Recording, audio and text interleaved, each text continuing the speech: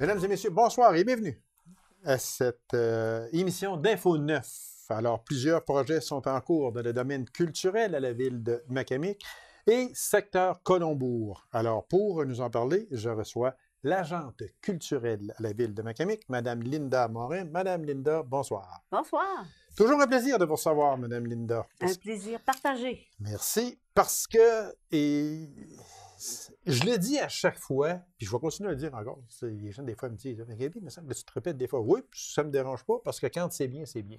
Mais euh, il se passe tellement de choses à la bibliothèque de Macamé depuis que cette euh, nouvelle bibliothèque est en, est en fonction, depuis hey! trois, hein? hey, on va avoir quatre ans. Quatre ans on va avoir déjà? quatre ans en février, oui. Non, Dieu Seigneur, On ça va- dans va des- Ouais, oui, hein? Ah, ben oui, c'est vrai, ça serait Ah bon oui, euh, à souligner. Oui. Euh, il se passe beaucoup, beaucoup d'activités. Puis même, il y a même des gens qui m'ont dit, parce que durant les fêtes, c'était fermé, il y a même des gens qui m'ont dit Euh, ça nous manque, ça nous manque, en, en pleine période des fêtes. Ah fait que oui. ça veut dire que. Mais il y a toujours beaucoup de membres. C'était une difficile euh, décision hein, parce que c'était, tu sais, comme la bibliothèque, elle fonctionne avec 30 Ben bénévoles. oui, mais c'est ça. Le temps des fêtes, c'était donner une pause à mon monde, mais c'est sûr qu'il y aurait pu y avoir. euh, c'est une décision qui est difficile. C'est comme l'été. L'été, on ralentit. Ouais. L'été prochain, on ralentira. Ils savent pas. Ils Mon- savent pas? Ils savent pas trop Hey, encore. Oui, on va moins ralentir. Je vais, je vais coacher mes bénévoles. C'est de leur donner de- du temps. Le temps des fêtes, c'était ça, cette C'est ça. décision-là. Puis, euh, puis, je suis content qu'on en parle de ça, Mme Linda, parce que l'affaire qu'il y a, c'est que ça gravite autour d'une trentaine de Ah. bénévoles. Il faut dire là, des Ah bénévoles. Alors, c'est normal que ces, per- ces personnes-là reprennent leur souffle. Et quoi de plus normal que de reprendre son souffle? Dans la période des fêtes, entre fait, amis, entre parents. Alors, moi, moi, je calcule que, euh, d'accord, si vous dites, vous, que la décision a été difficile à Ah prendre, oui. probablement, mais moi, je, je trouve que c'est une excellente Mhm. décision parce que après ça, ça fonctionne continuellement. Tout le monde revient en force. là. Les bénévoles ont tout hâte de commencer. Ben, on sûr. a commencé, là, les sûr. gens. Puis, tu sais, Jim Cerveau recommence cette semaine. Toutes les activités reprennent. Tu vois, tout le monde est, est, est reposé Oui. de ce temps des fêtes-là. Fait qu'il faut, faut- Et les bénévoles aussi. Et- Ça- ben, il faut faire ça. Moi, j'ai beaucoup faut de, dire, de puis- respect pour ce qu'ils font. Oui. Alors, euh, euh, ben, quand ont exprimé ce souhait-là, on a dit, on y va. Puis, personnellement, moi aussi, j'ai pris des vacances. Alors, Oui. je, je reviens, je reviens en forme. Il faut, il faut faire ça. Alors, on Parce qu'il faut le dire, euh, je sais, on la connaît, Madame Linda, elle ne compte pas ses heures. Ça, je sais, parce qu'on passe très souvent à la bibliothèque. Non, mais je veux vous rendre hommage aussi, en même temps, parce qu'on passe la fin de semaine, on passe le samedi à- en avant de la bibliothèque, on passe le dimanche en avant de la bibliothèque. Son petit char est là Ouais. presque tout le temps. On dit, eh, mais oui, mais elle prend pas de congé jamais, madame-là. Fait que c'était normal de refaire vos forces euh, durant la période des fêtes. Puis comme vous le dites si bien, tout le monde revient en grande forme et c'est tout le monde qui en bénéficie à ce moment-là.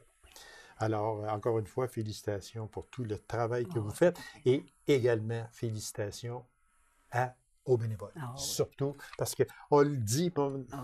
on le dira jamais assez, sans les bénévoles, là, on ne peut pas. Madame Linda ne peut pas s'asseoir à la bibliothèque elle seule puis faire fonctionner tout ça. Impossible. Non. Impossible. Mon rôle, c'est de les soutenir, hein, puis de, Ouais. de les faire rêver, puis de, une idée s'émerge de quelqu'un, puis je fais Ah oui, et puis là, moi, puis moi, puis moi. je- Et puis ça développe leur estime. Moi, j'ai des gens qui ont peu de vie sociale et le fait d'être bénévole à la bibliothèque, ça leur permet de rencontrer des gens, de briser l'isolement. Et ça, j'y tiens. Briser Euh, l'isolement. Là, vous venez de dire un mot très euh, important. Euh, c'est- leur.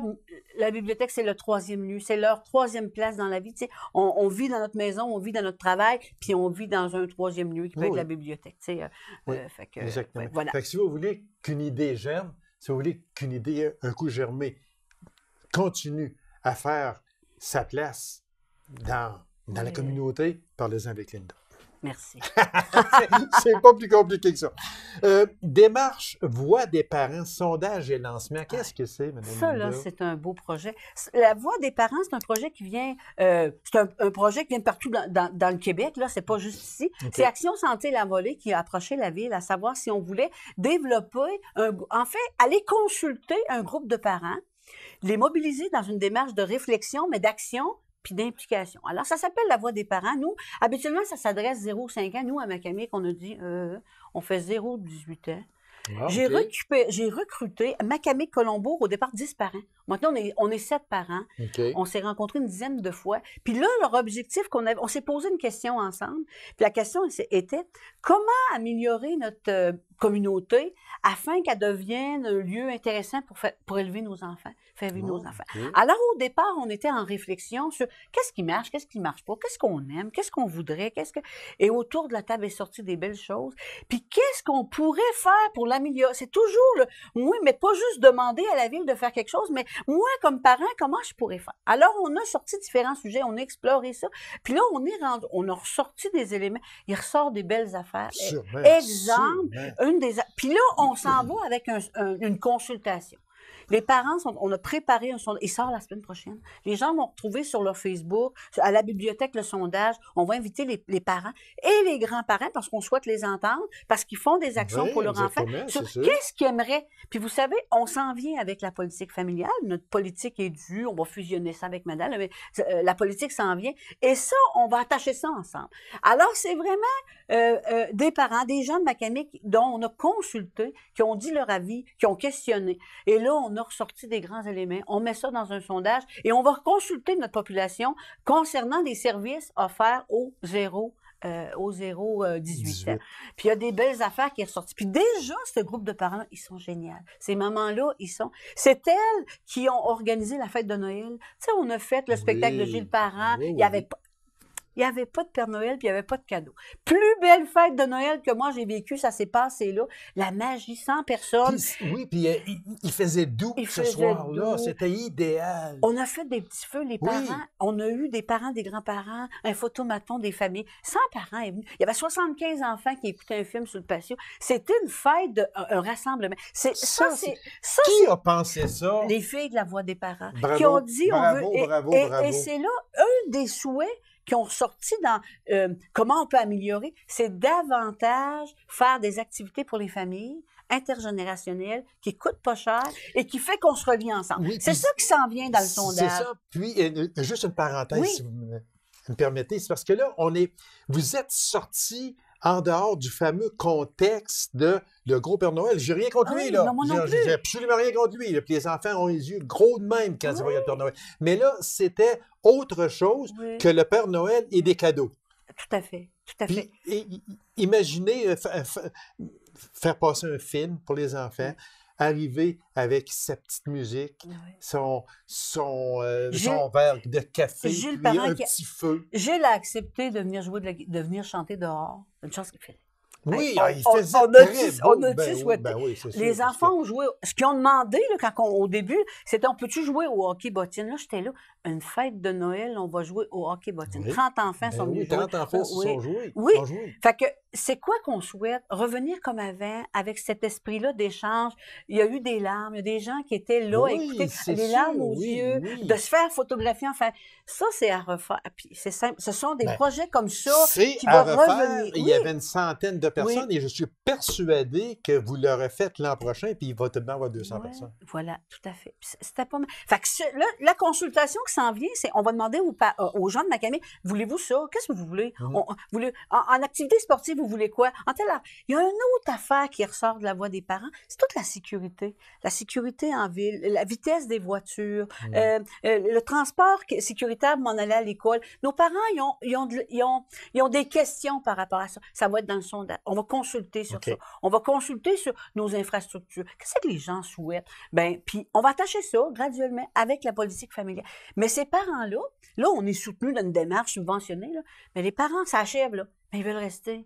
Moi, je vais soutenir. Ça, ça va s'ajouter à ma gang. OK. Puis ils ont été, tu sais, on a nommé des affaires, ça c'est plate, puis ça, ça marche pas à vivre. On a, ils ont nommé des affaires, mais avec le souci toujours de dire, ben, tu sais, parce que c'est des gens qui le font, le souci de dire, comment on va l'améliorer? Nous, autres, on Et non suggère, Et non Ah. pas dire ça, ça c'est pas bon, on tend ça de côté. Non, on va améliorer.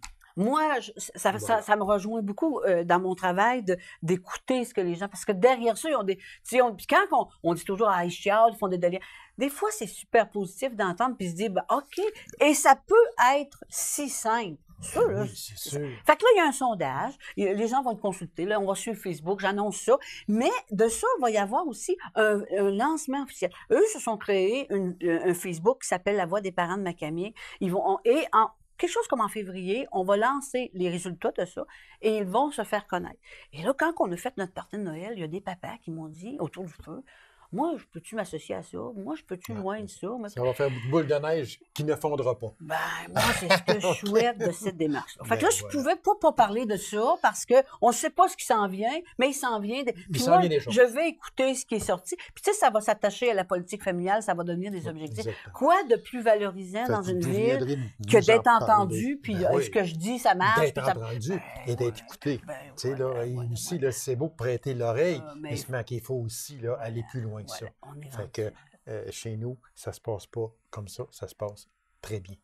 En tout cas, chapeau à ces filles-là. Moi, Oui, je suis bien fière de bravo. collaborer avec Euh, elles. récital musical et de poésie, des notes et des mots par l'Orchestre symphonique euh, régional. Voilà, on va vous montrer ça très vite. Ça, ça va se passer à la Bibliothèque municipale des Jardins de Macamic le vendredi 8 février à 19h et c'est gratuit. On est chanceux. Hein? Oui, On parce est que chanceux de ceux qui ne connaissent pas de connards. Ben, Je, écoute, je m'excuse, là. non, non. Ceux qui ne connaissent pas l'Orchestre symphonique régional, là, Ben, il n'y en a pas. c'est pas compliqué, c'est impossible. impossible. Absolument pas. Sous la direction musicale de Jacques Marchand, Oui, que tout le monde tout connaît, connaît. également le très sympathique directeur musical. Euh, Odette Caron, narratrice, Isabelle Fortin, violon, euh, Annie Boudreau, clarinette et euh, Amélie Maranda, tuba. Ça, ce sont les personnes qui vont venir donner un concert d'environ une heure, une heure peu- et quart, là, près, environ. Euh, ça, c'est euh, à Macamic le vendredi 8 Un beau février. vendredi soir. Ça, là, euh, comme on dit, premier arrivé, premier servi. Ils m'ont eu servi, mais on va installer cin- 50 chaises. Écoute, on assez confortable. On va s'arranger pour se tasser, puis que tout le monde ait de la place, puis qu'ils profitent de, de- Ben de- oui, de ce beau moment-là. c'est bien sûr. On est chanceux d'avoir été Oui, choisis. Parce qu'ils font que le tour de, de- Ben, un par MRC. Exactement. Alors cette Fait année, c'est chez nous. Chez nous ici, Fugerville Oui, aussi, puis euh, à Baudry, à Sainte-Terre et à. Oui. Alors, n'oubliez pas, c'est le vendredi 8 février euh, 2019 à 19h. C'est à la bibliothèque euh, municipale des Jardins de Macamic qui reste à peine deux petites minutes. On a encore Oh, beaucoup, ça va beaucoup de bien choses. Ben vite. oui, ça va donc bien vite. Euh, projet, bon, escalire, très vite, escalire. Ben, Escalier, c'est un projet de lecture. Puis, à la dem- ben, encore là, c'est comme un peu un secret, mais un scoop. Je te fais le scoop. Euh, on va ouvrir probablement, on se décide ça cette semaine, mais euh, on va ouvrir la bibliothèque le samedi après-midi. Mon auto est déjà là. je suis déjà rendue. je suis déjà souvent là. Je veux offrir des ateliers d'écriture et de lecture et aider les parents à, à- à- à faire, à faire de la lecture avec leur enfant, avec du beau matériel qui s'appelle Escalier. Et là, si la bibliothèque est ouverte le, sa- le samedi après-midi, comment les parents peuvent venir lire Ouais, avec mais leur vous, enfant? vous allez. euh, euh, prendre conjoint nos doux. On va Ah, s'arranger. On va s'arranger, on va s'arranger. Puis ce ne sera pas nécessairement questions. juste moi. Non, Il va y sûr. avoir euh, d'autres personnes qui vont. mais ça, ça fait un an que je travaille sur ce projet-là. J'ai ramassé des sous ici et là pour pouvoir. Puis là, on a du beau matériel. Les enfants vont pouvoir venir et, et avec du matériel spécialisé en livre, en lecture graduée. Alors le petit va commencer à lire et plus Ah, qu'il va lire Dieu. ses livres, le Oui. niveau va augmenter. Alors ça, c'est, je, souhaite ça. Je chéris ce beau projet-là. Puis c'est un projet de collaboration avec le milieu scolaire. Voilà. Puis aussi, il y a euh, Bibli On joue, objectif briser Ah. l'isolement et développer la collaboration. Je dois, ça, ça se passe tous les vendredis à la bibliothèque. On a un petit comité qui fait ça. Je dois dire qu'actuellement, je m'attendais à avoir plus de monde. Et là, j'invite, je veux inviter les gens. Des fois, on n'ose pas, tout seul, célibataire. euh, puis j'aimerais ça jouer aux cartes, puis j'aimerais ça jouer à des jeux. J'ose pas y aller parce que je suis seule. On invite les gens, puis on les reçoit, puis on se place en équipe, puis on fait des choses. Biblio un jour, ça commence dès vendredi. C'est super sympathique. Fait que les Puis, gens on ne aura- pas se gêner à venir. Non, on absolument viendra pas. parler pour Puis on reste. viendra aussi sur un autre projet, Action Lecture Oui. élèves du secondaire. Oui, Merci beaucoup, Linda. ça fait plaisir. plaisir que de vous recevoir. Puis, euh, oubliez surtout pas non plus, le 8 février à la bi- bibliothèque, c'est euh, des, des notes et des mots avec euh, l'Orchestre symphonique régional sous la direction de M. Jacques Marchand. Merci beaucoup, Mme Linda. Merci. Alors, mesdames et messieurs, courte pause, on vous revient immédiatement après. Restez avec nous.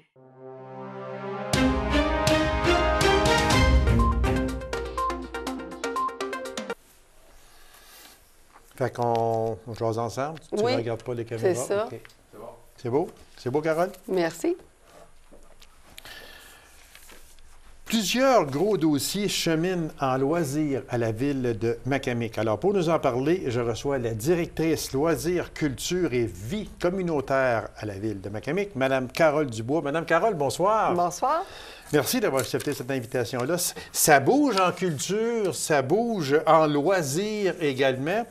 Euh, on- tout de suite, on va commencer avec quelque chose euh, qui a- parce qu'il va y avoir une consultation publique. Oui. On enregistre l'émission le 25, mais la consultation publique, elle est le 29 janvier et l'émission passe le 29 janvier. Donc, ce soir, il y a une, euh, une consultation publique concernant deux projets à Macamic. Oui.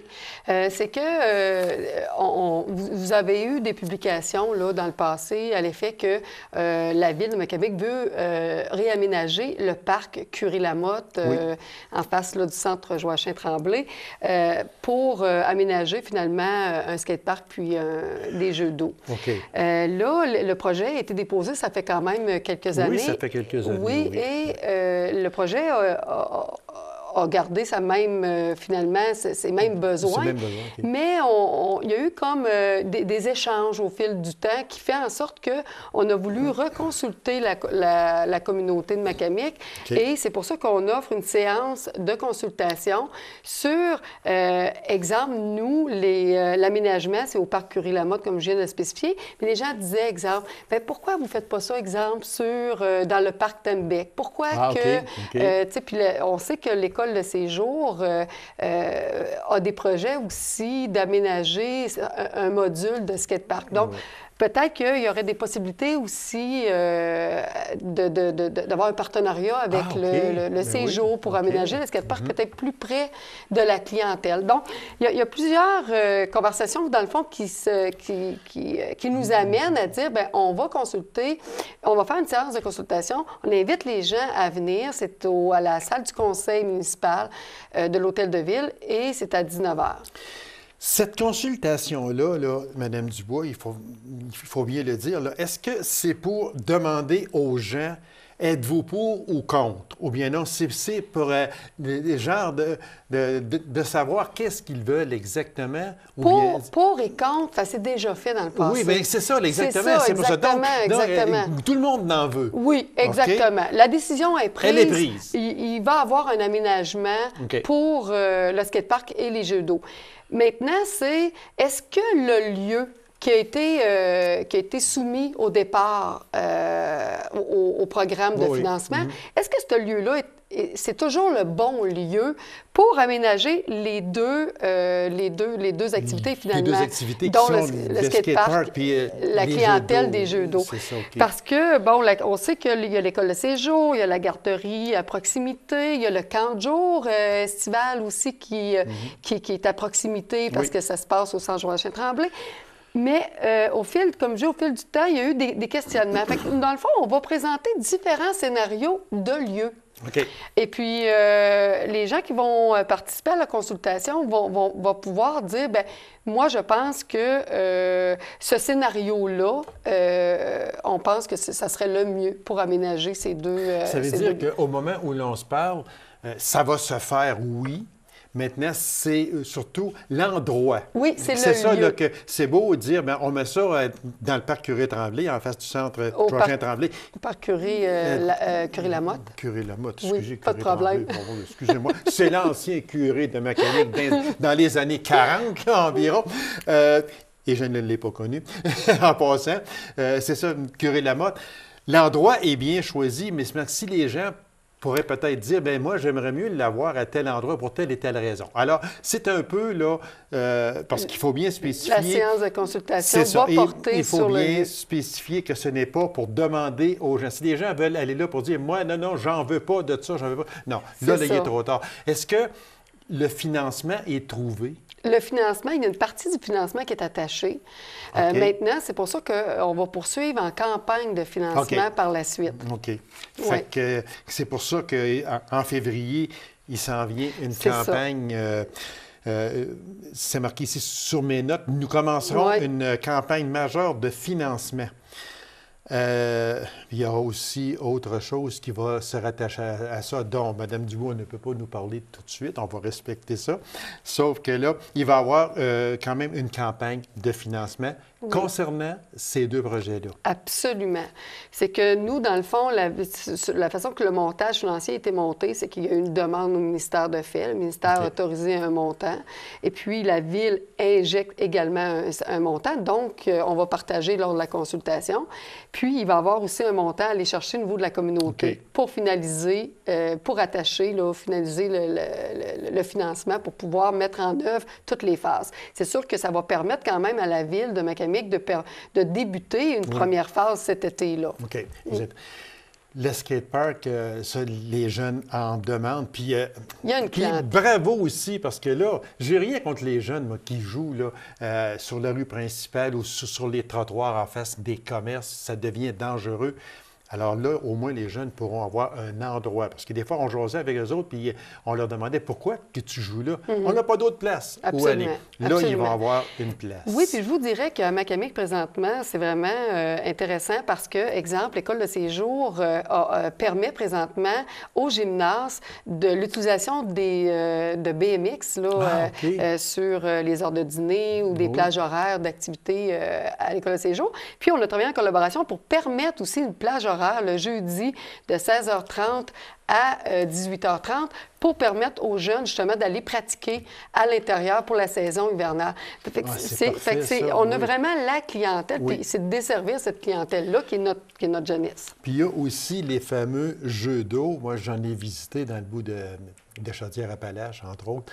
Puis euh, les enfants s'amusent tellement dans ça, c'est incroyable. C'est vraiment beau et bien fait. Oui, oui, c'est ça. Parce que ça doit être probablement sur le même principe un, même peu, principe partout. Voit, oui, absolument. Mm. Puis les enfants s'amusent tellement. Donc, si l'endroit reste le même euh, dans le dans le parc Curé-Lamotte, il va avoir euh, des activités beaucoup, beaucoup Absolument. Au Puis les autres, tu sais, quand les, échanges nous amènent à dire est-ce que c'est le lieu propice euh, à aménager les deux, euh, les deux, les deux secteurs d'activité, oui, c'est deux clientèles complètement distinctes, même si les jeunes du skatepark peuvent aller au jeu d'eau, on s'entend, c'est qu'il y a tellement de possibilités à Macamic, c'est ça qui arrive, tu sais, avec le parc Tanbeck, avec justement les collaborations avec le séjour, ah, tu sais, il y, a plusieurs possibilité qui fait en sorte qu'on doit revoir peut-être est-ce que c'est vraiment le bon lieu. Mais si on détermine que c'est le bon lieu, bien, du moins, on va pouvoir commencer notre, euh, la première phase. Exactement.